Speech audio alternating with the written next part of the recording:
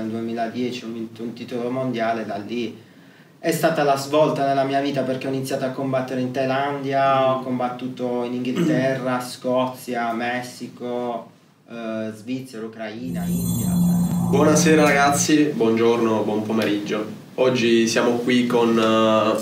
Giampiero Sportelli, sono un allenatore e atleta di Muay Thai e pugilato. Domanda con la quale parto sempre in, in ogni episodio, dopo la scuola quando tu finisci il liceo cosa facevi, cosa volevi fare? Allora, io sono sempre stato appassionato di due cose, lo sport, quindi le competizioni e il viaggiare. Per fortuna con la Muay Thai, allenandomi giorno dopo giorno, facendo dei sacrifici, sono diventato un atleta professionista e questo mi ha consentito di realizzare anche quello che era il mio sogno, viaggiare nel mondo per le competizioni. Quando è stata la prima volta che tu hai deciso di ok oggi vado in palestra, inizio a prendere cazzotti? La mia passione per la Muay Thai in generale è nata per caso. Io ero un appassionato di gare automobilistiche, un giorno su Eurosport c'era una pubblicità di, di match di Muay Thai quindi mi sono incuriosito, sono andato a vedere. Lì è nata la mia passione, no?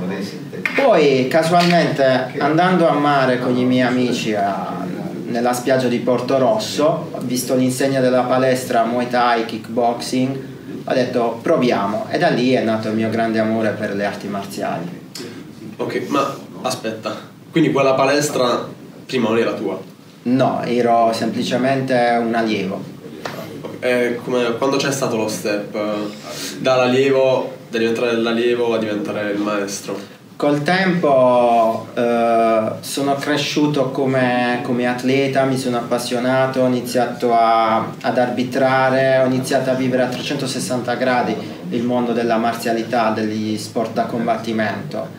Nel 2019 poi ci fu un cambio di gestione e quindi ho deciso di rilevare quella che era l'Academy Fight System, la palestra storica dove sono cresciuto grazie ai miei maestri. Quanto, quanto tempo ci hai messo, o in genere anche secondo te, quanto tempo ci dovrebbe mettere um, un allievo alle prime armi per poter arrivare a fare le gare? Ah, questa è una domanda molto particolare. Ognuno di noi ha i propri tempi di apprendimento, quindi ci sono dei ragazzi che apprendono più velocemente, ragazzi che magari prima delle arti marziali hanno fatto un certo percorso sportivo, quindi dal punto di vista motorio hanno già superato degli step fondamentali che sono gli schemi motori di base, quindi si sanno muovere, sono coordinati, hanno la coscienza di quello che è il loro corpo, conoscono il loro corpo. I ragazzi magari che vengono negli sport da combattimento però che prima non hanno sviluppato queste um, capacità possono metterci un po' di tempo. Un ragazzo secondo me un ragazzo che si sa muovere coordinato per imparare le basi e sapersi muovere ci vogliono almeno un annetto per, per salire sul ring sicuri che si sanno muovere bene che possono dire la loro e sono anche belli da vedere dal punto di vista estetico, quindi che hanno appreso bene la tecnica, si sanno muovere e hanno acquisito quella che è la sicurezza in sé, che è la cosa più importante negli sport da combattimento. Hai detto la bellezza estetica, cioè proprio sì. da vedere ad oggi, no, con l'esplosione del mondo dei social, quanto è show e quanto è poi realtà. I social sicuramente hanno velocizzato dei processi, ma allo stesso tempo distolgono dalle, dalle cose essenziali. Cosa voglio dire? Sicuramente adesso eh, gli sport a combattimento sono degli sport di massa perché nelle palestre grazie ai film, alla, ai social, Instagram, Facebook e tutti i social network stat- c'è stata un'esplosione nelle palestre, ma dall'altro canto bisogna saper anche avere uno spirito critico di, di cosa guardare, perché mm-hmm. si rischia di guardare anche esempi o cose che non sono inerenti alla marzialità vera. Beh, mi viene proprio un esempio cioè, che secondo me è un po' uno storpio. Non so se ti trovi d'accordo con me, uh, Logan e Jake. Sì, eh, loro sono personaggi mediatici, quindi attirano intorno a sé tanta, tanta gente, tanti, tanti spettatori, quindi tanti paganti, fanno audience, quindi il problema qual è? Che magari un ragazzo che è portato, magari merita di arrivare a certe competizioni nazionali, internazionali, su palchi prestigiosi, magari rischia di essere messo da parte perché non vende. Mm-hmm. Quindi non è importante più quanto tu vali sul ring, ma quanto tu riesci a generare e vendere. E questo è, è un peccato perché va a togliere quella che sia la meritocrazia di molti atleti. Molti atleti meritano dei palchi importanti, ma non riescono ad arrivare perché perché generano poco e questo non va bene perché la meritocrazia in tutti i campi, non solo in quello sportivo, può essere la musica, può essere nell'ambiente scolastico, deve essere sempre premiato. Eh, purtroppo in questo i social hanno creato un po' a volte anche l'imbarazzo nei noi, noi istruttori perché ci sono degli esempi che non vanno seguiti o non sono veramente positivi per i ragazzi. Mm-hmm. Eh, però in realtà uh, hai parlato anche di, di profili. Avevo letto un, um, un tweet di, di Jake Sì. E lui disse che voleva, uh, da quello che sa, so, l'ha scritto lui, in UFC il minimo che un fighter guadagna 12.000 dollari più o meno. Sì. Comunque se fai uno o due incontri all'anno, tre incontri all'anno, non ti cambi. Eh, sì, il problema è che quei 12.000 dollari non sono neanche netti perché ah, vanno distribuiti con il manager, vanno distribuiti con la palestra, vanno distribuiti con, con terze persone. Quindi di quei 12.000, 10.000, 15.000, 20.000 devi andare a calcolare che l'atleta in sé si mette in tasca il 60% di quello, della borsa totale. Poi sappiamo benissimo che una cosa sono 10.000 dollari in Italia, una cosa sono 10.000 dollari in America. L'America costa, ha dei costi di vita maggiori, molte volte i trasferimenti, gli allenamenti, gli infortuni sono tutti a carico degli atleti. Adesso sta cambiando, sta iniziando a parlare anche di pensione per gli atleti. Lui ha detto che voleva entrare nella UFC per cambiare eh, il sistema, eh, fare fuori molti fighter, però aumentare gli stipendi, cioè a minimo 50.000 incontro. Però queste sono... Il, il problema è che l'UFC, a differenza di magari quelle che possono essere le Olimpiadi, no? Mm-hmm. L'UFC è una lega privata. Come molte leghe degli sport e combattimenti, l'interesse dei privati è vendere. Molti atleti vengono pagati, parliamoci chiaro, ticket commission oppure in base alle vendite in pay per view. Mm-hmm. Quindi se un atleta si vende un milione di, di abbonamenti nel contratto c'è scritto se su quel milione il 15 il 20% è dell'atleta quindi questo vuol dire che chiaramente eh, non è il valore dell'atleta, ma quanto l'atleta è bravo a vendersi, a proporsi o quanto l'atleta riesce a generare. In Thailandia pagano in base alle percentuali delle scommesse negli, negli stadi. In Europa, dove non si vende poco in pay per view, si paga in base alla ticket commission, quanti biglietti riesci a vendere a tuo nome. In Gran Bretagna, dove c'è un grosso movimento di pugilato, MMA, Muay Thai, un lottatore gli è garantito una borsa minima che può essere da 2, 3, 5, 6 mila sterline e più la ticket commission, quanti biglietti tu riesci a vendere a tuo nome. Quindi prendi una percentuale del 20-30 stabilito dal contratto di ticket commission venduti a tuo nome. Sei andato anche in Thailandia, giusto? Sì, sì, sì. Ok. Però da quello che so a differenza, cioè uh, un ragazzo oggi no, vede um, la UFC, anche perché, come dire, eh, non possiamo negare che sia forse ad oggi la lega più alta. Sì, UFC è quella che ha sì. dato maggior visibilità agli sport da combattimento, sì. su questo non ci sono dubbi. Quindi un ragazzo vede quello, vede il, um, il McGregor che fa due incontri all'anno, fa il cazzone. Però penso che se ci spostiamo già in Thailandia è un po' diverso. In Thailandia il mondo degli sport a combattimento è molto diverso. In Europa, in America è molto più narcisistico, Sì. se vogliamo. Sì, sì. No. In Thailandia è diverso, fa parte della loro cultura, sono meno pieni di sé i lottatori, giocano molto di meno sui social, forse anche la loro cultura li ha portati a essere, approcciarsi in maniera diversa ai social. Mhm.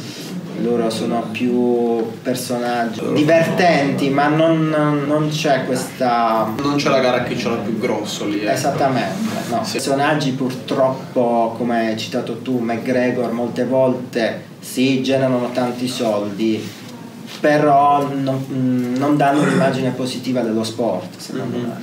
Ma infatti ti dico, io crescendo eh, l'ho un attimo le figure come di McGregor le ho molto rivalutate.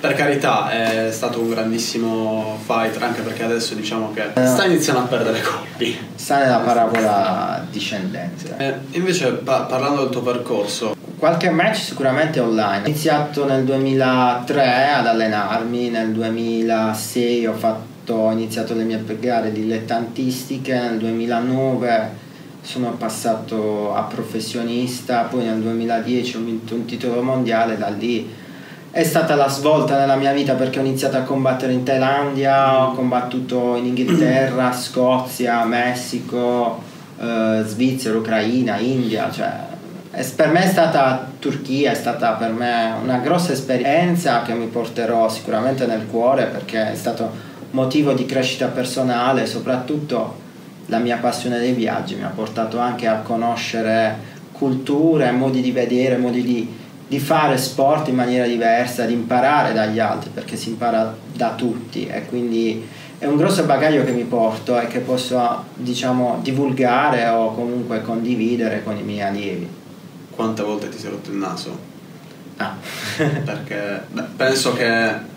Penso. Sì, allora, bisogna togliere subito questa diceria che chi si iscrive in palestra si, si rompe il naso. No, non funziona così, anche perché dal punto di vista commerciale io pago l'iscrizione, la mensilità, quello che sia, ti rompe il naso, penso che il giorno dopo l'allievo cambi palestra o cambi completamente sport. Quindi togliamo questa diceria che i pugili a tutti i costi quando bisogna rompersi il naso. Può capitare, non è detto che capiti, può capitare, io mi sono rotto il naso ufficialmente, poi non so se qualche lesioncina è successa prima, dopo nel 2012, quindi dal 2003 al 2012 diciamo che ho avuto il mio bel nasino, poi purtroppo in un match di MMA ho fatto un errore, eh, ho preso un gancio, ho preso di striscio e il naso è, è partito un po' per la tangente, quindi mi è successo Ok. però non è detto che è una cosa che capiti. Io ho deciso di farlo a livello lavorativo, professionistico, quindi eh, sono rischi che, che ho deciso di correre, ma non è detto che il ragazzo che fa l'amatoriale, il dilettante in palestra capiti. Come mai in Italia, beh in realtà a parte gli ultimi anni con Marvin Vettori, che comunque è Sì. andato abbastanza forte, e, e Petrosian, che diciamo che in tutto il mondo in realtà Petrosian.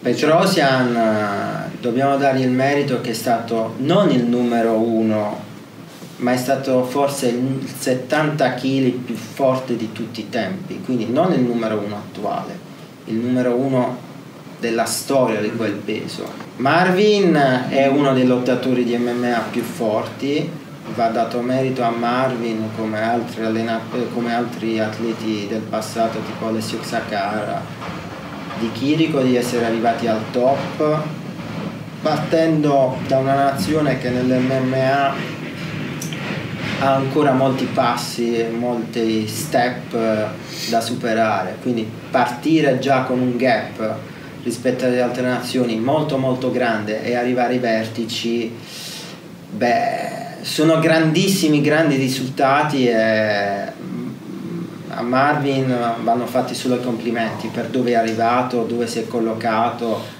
e ad avere le chance che ha avuto. Quindi grande, grande, grande merito a Marvin perché ha portato come Alessio Sacara nel passato l'MMA in Italia a fare dei grandissimi passi avanti e per fortuna ci, abbiamo avuto questi pionieri perché stavamo ancora diciamo nel medioevo dell'MMA no, eh, però in realtà appunto cioè, la, la, mia domanda è, è quella cioè perché in, in Italia ancora non siamo completamente sviluppati sotto questo punto di vista? Allora uno mancanza di organizzazione.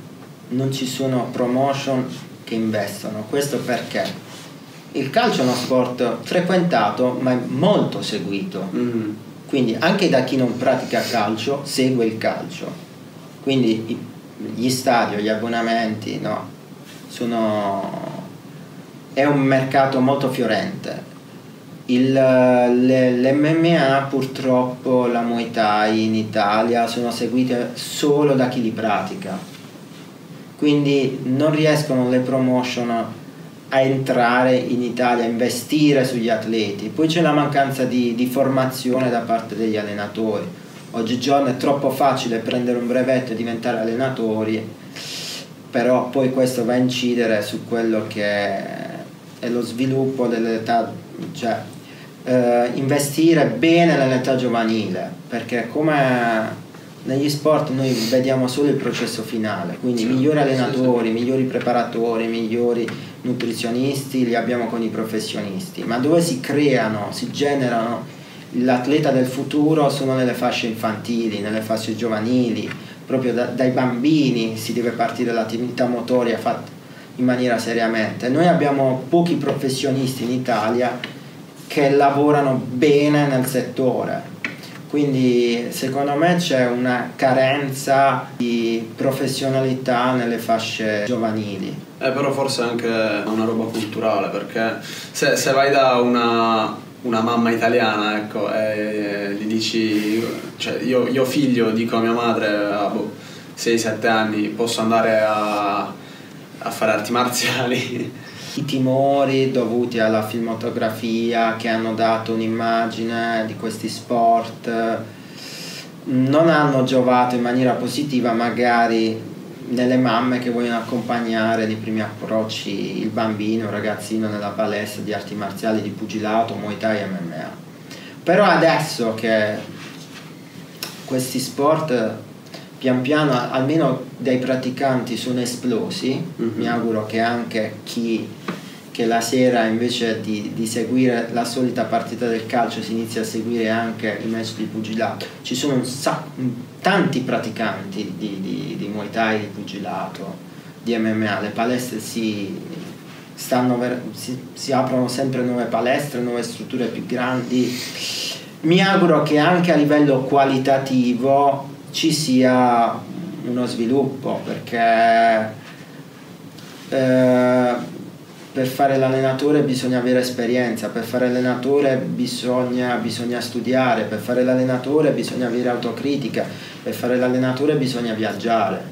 Mm-hmm. Eh, la differenza con l'Asia è abbastanza esistenziale perché in Thailandia i bambini non hanno molta scelta. La Muay Thai per loro è un motivo per mangiare, è proprio è il motivo per cui entra un ragazzino in palestra in Italia o in Asia è completamente diverso. Sì. Eh, ma infatti una volta eh, mi raccontasti che eh, sì, in Thailandia tipo fanno gli incontri nei, nei bar, nei pub. Sì, sì, sì, sì, sì. Cioè per, per loro è proprio normale, sì. Allora, in Thailandia l'atleta si valuta in base agli stadi dove ha combattuto. Mm-hmm.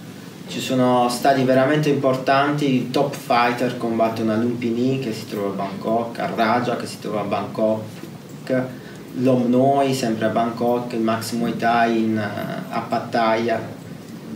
Però ci sono anche eh, stadi più piccoli e anche i bar dove gli atleti o i ragazzi possono combattere. Nei bar si guadagna in base alle scommesse, alle mance date dai turisti.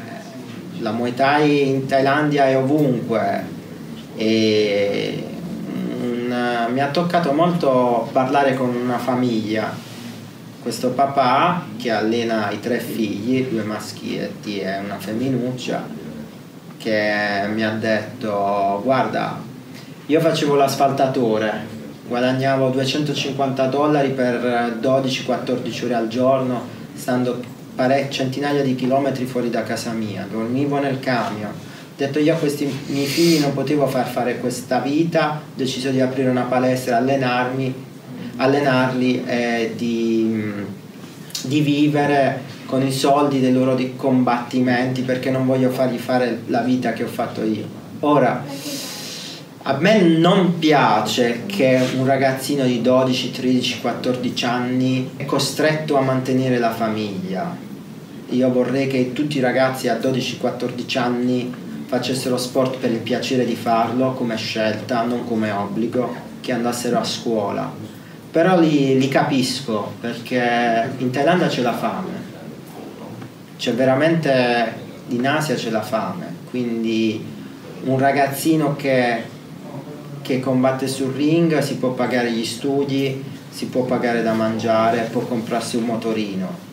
Purtroppo quel sistema scolastico thailandese che non ga- garantisce un futuro perché le scuole private in Thailandia costano, c'è questa forma di costrinzione a, a, fare qualcosa, forse la maniera più sana per i thailandesi, che non condivido come modo di essere, è salire sul ring.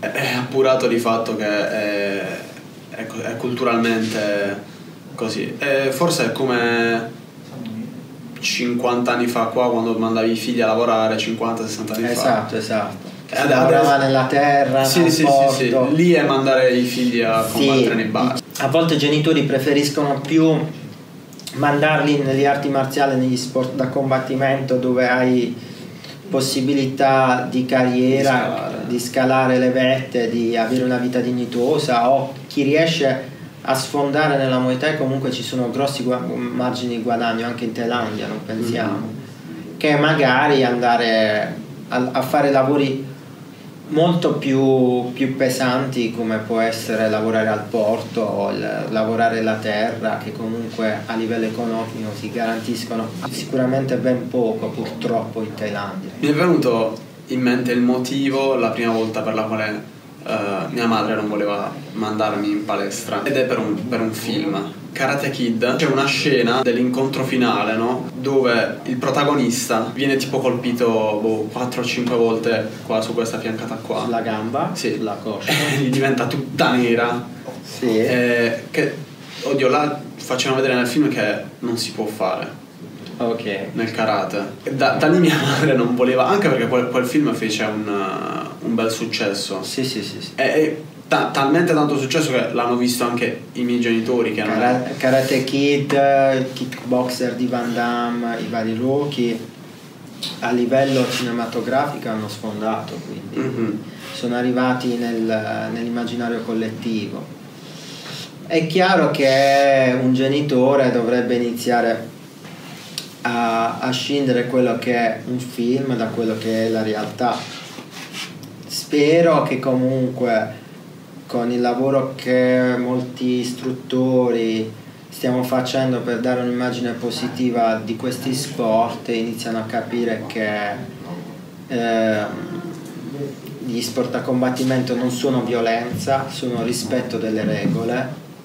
Magari nei film questo non sempre viene Sì. esaltato, magari viene esaltato esattamente il contrario, però le arti marziali vere sono disciplina, rispetto delle regole, l'arte marziale deve servire a migliorare l'autostima del ragazzo, a portarlo a essere più sicuro di sé, a sapersi muovere e questo l'aiuterà molto nei vari ostacoli che purtroppo la vita ci, ci porrà davanti, quindi le, le arti marziali devono essere- servire a questo, il compito nostro di istruttori è promuovere un'attività sportiva sana e che migliori e sviluppi al- tutte le- quelle potenzialità del ragazzo che può avere, no?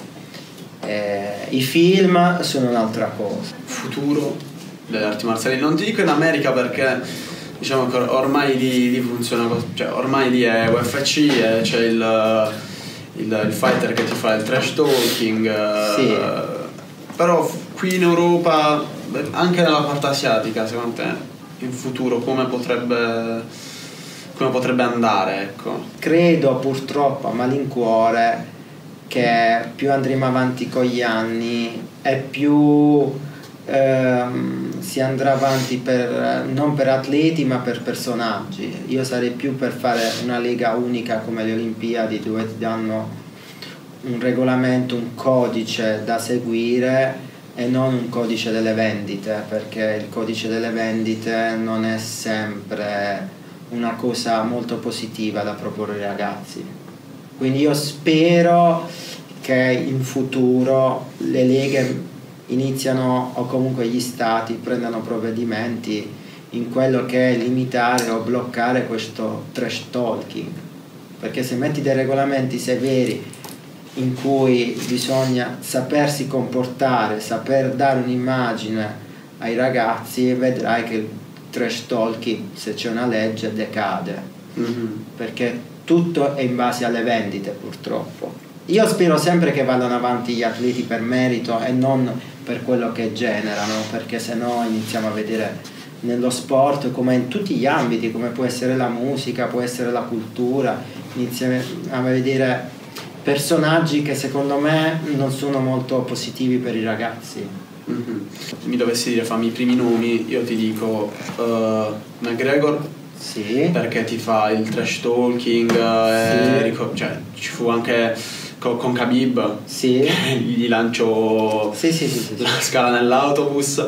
Ehm, Sì, poi c'è poi- purtroppo.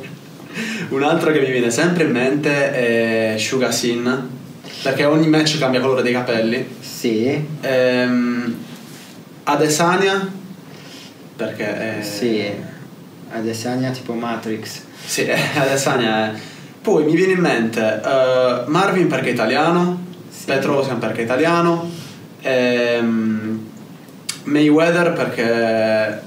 Oddio, anche lui in realtà ultimamente, cioè, ultimamente da un po' di anni ogni post che mette su Instagram è tipo una giacca e sottoscritto quanto Sì, costa. ostentare Sì, quello ehm, che ha. Il problema è proprio questo. uh, tolto le eccezioni di Petrosian perché eh sì, Petrosian alla fine Eh, è abbastanza serio. non l'ho mai visto fare trash talking Sì, e uscire fuori dalle righe, quindi ed è un campione realmente affermato, un Mm. campione. Eh, quanti match ha vinti? Più di 100. Più di 100, sì. Credo persi ne ha tre. Eh, quindi sì, sì. Allora quello con Superbone. con Superborn perse con Andy Risti un match pareggiato quando era ragazzino. Comunque ha perso Sì, sì, poco pochissimo. Giorgio. Veramente un atleta eccezionale, nulla da dire. E il problema ti faccio una piccola provocazione. Conosci Mayweather, ma non conosci magari chi ha battuto il record di Mayweather nel No. pugilato. Eh, chi ha battuto il record di Mayweather è un thailandese, però Eh, non viene, non lo conos- mostrano. non viene non è un personaggio, è un, un pugile molto timido, ha battuto il record, Sì, sì, è sì. arrivato a 52 vittorie senza nessuna sconfitta. Ah.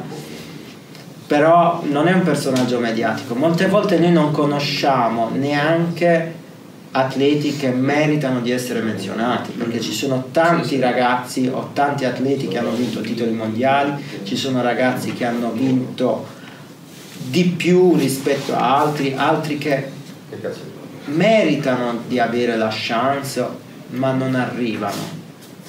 Ci sono tanti atleti che sono arrivati al successo ma sono passati in secondo piano dal punto di vista mediatico. Come hai detto tu, no? Se Mayweather vince un incontro Sì. eh, su Instagram mette io sono il più forte, tu sei un coglione, mentre come hai detto tu, quello che gli ha battuto il record, che è thailandese, non penso abbia fatto un- abbia scritto una cosa del genere da qualche parte. Mentre dire, Mayweather poi attira tutta, tutta l'attenzione. Ti dico Mayweather come è qualsiasi altro personaggio che cavalca quest'onda. Però una, una cosa che ho visto. Ah, una cosa importante è la lingua. Uh-huh. Scrivere Eh, sui social in thailandese e non conoscere l'inglese rimani chiuso in Thailandia. Scrivere in inglese è una lingua che arriva a molte più persone, è già una grossa differenza. Eh, poi dipende anche la nazione dove nasci. L'America, l'Inghilterra sono nazioni che dal punto di vista degli sport da combattimento hanno avuto un grosso sviluppo, grosse promotion, eh, una grossa macchina diciamo lavorativa molto importante Mhm. molto molto molto importante Eh, nascere in situazioni più disagiate come può essere no, io ho vissuto nel sud-est asiatico Thailandia, Birmania, Laos, Cambogia è molto più difficile è molto più difficile giocarsela sui social in quanto purtroppo in, eh, in Asia non sanno scrivere in inglese è molto più difficile emergere dal punto di vista dei social. Le, persone. le MMA vere e proprie sono nate in Brasile Ok. con la Vale Tudo, che voleva dire vale, vale, sto- Vale. vale tutto. E i primi scontri erano fatti, sono stati fatti già lì nel 1910 a San Paolo, c'erano queste sfide tra eh, c'era il jiu-jitsu brasiliano, eh, il karate, quindi si affrontavano le varie scuole. Successivamente si sono affrontate due grosse scuole, due modi di pensiero, due grosse marzialità, che era Giappone e Brasile. Ok. Quindi il maestro Kimura, che era un judoka, credo siamo più o meno al periodo della seconda guerra mondiale, della secon- pri- un po' prima della seconda guerra mondiale, sfidò il campione di jiu-jitsu brasiliano, che era Helios, Elliot Grace, il nonno di Rickson e Royce. Royce è colui che ha vinto primi, i primi UFC. E da questa sfida però Elio era molto più piccolo fisicamente, era un 60 kg, Kimura era un 84-90 kg. Iniziò una bella sfida, solo che Kimura riuscì a rompere entrambe le braccia di Elio, però Elio aveva un cuore grande negli sport da combattimento, quindi non ha voluto battere, alla fine hanno deciso di, di dare il match eh, pari. Elio in onore di Kimura la leva al braccio, l'ha voluta chiamare nel jiu-jitsu brasiliano Kimura e così sono nate diciamo le prime sfide tra nazioni di MMA, di Valetudo all'epoca. Ok.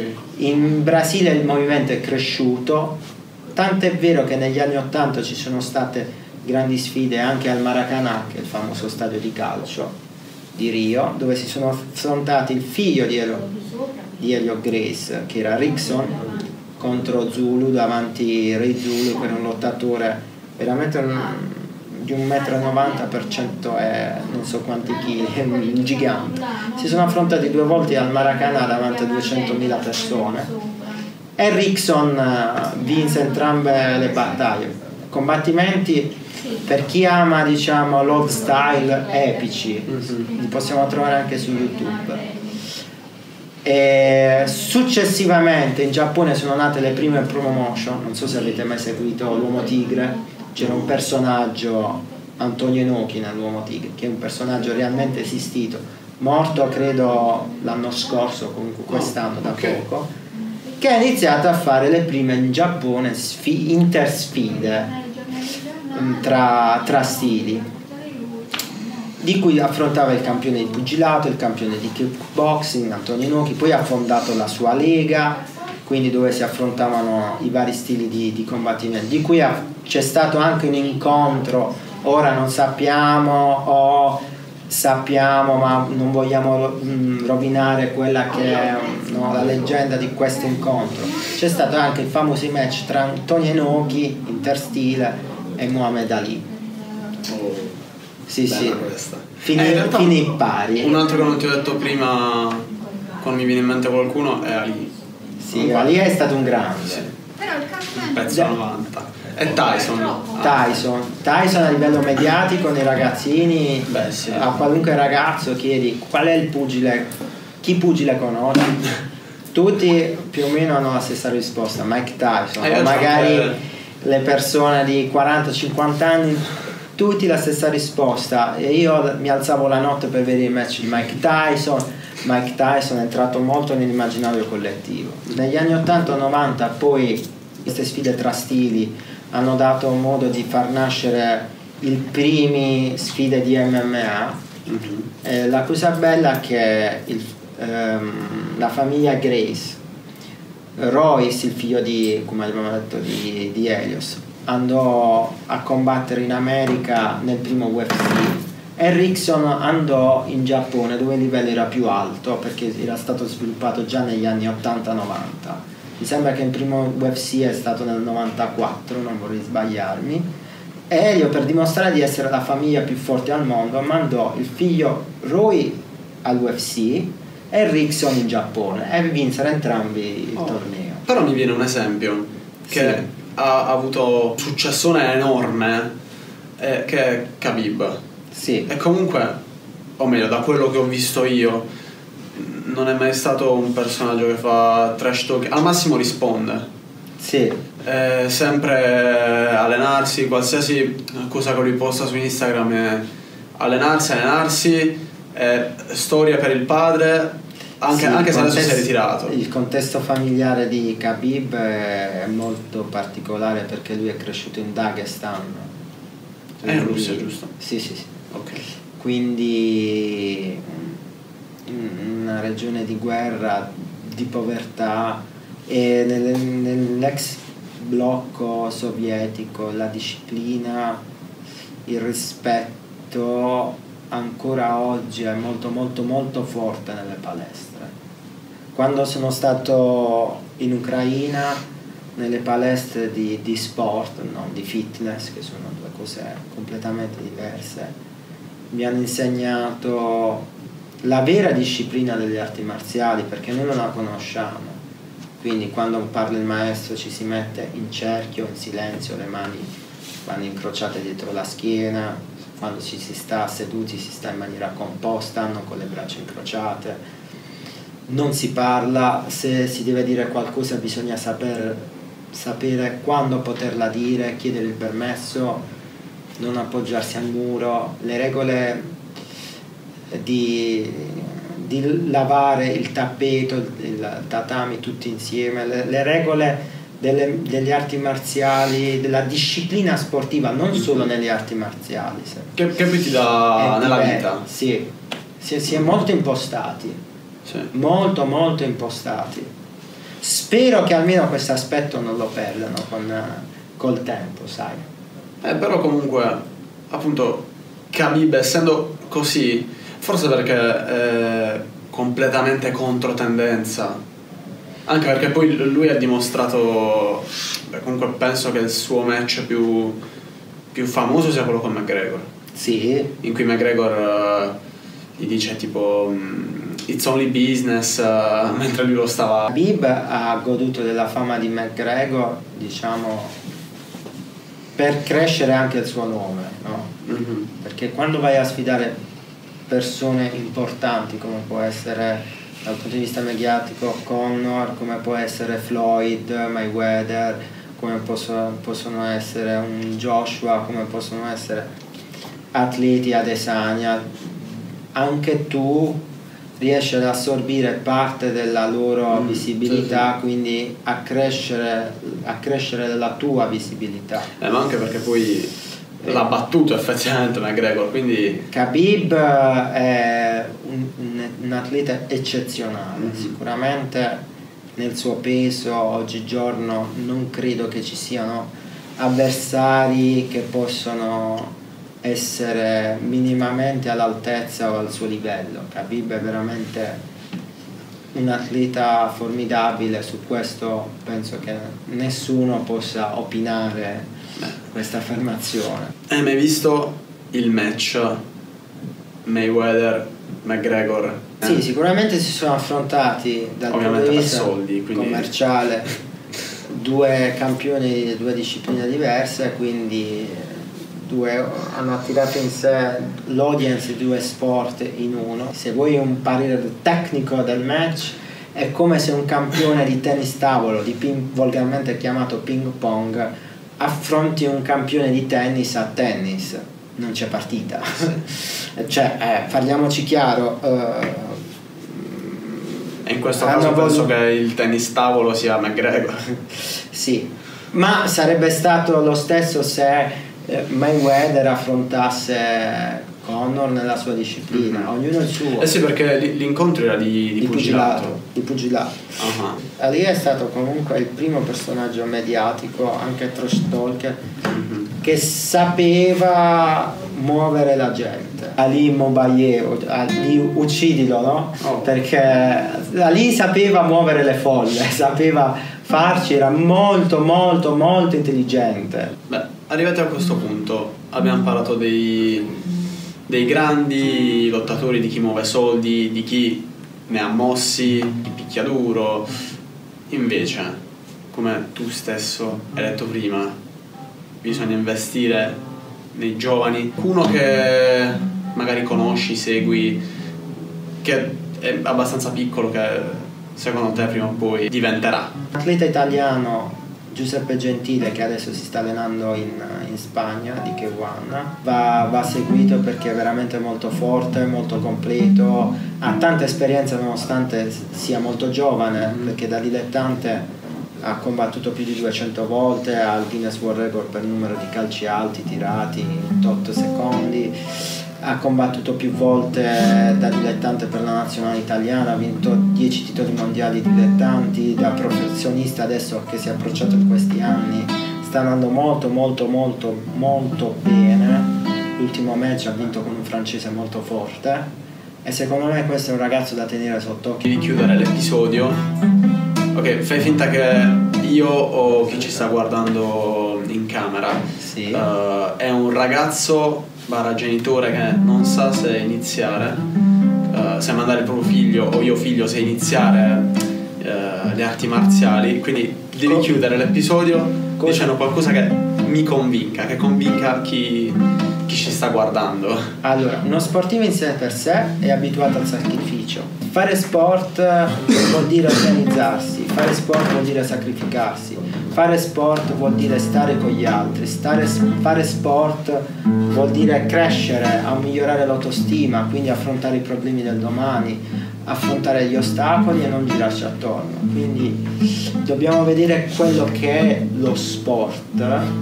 Quindi lo sport può fare solo che bene, lo sport non impoltronisce, non rende pigri, rende dinamica, una persona dinamica è una persona che ha fame, ha sete di conoscenze e si muove. Quindi secondo me lo sport in generale, non le arti marziali, ma lo sport in generale aiuta i ragazzi a crescere, a socializzare, a, a migliorare l'autostima e a superare gli ostacoli e i problemi che la vita purtroppo ci pone. Perfetto. Ti ringrazio. Ti ringrazio per avermi invitato qui. È un onore, un onore mio ovviamente. Eh, eh, me ne ha convinto, quindi spero che abbia convinto anche a voi. e ci risentiamo nel prossimo episodio.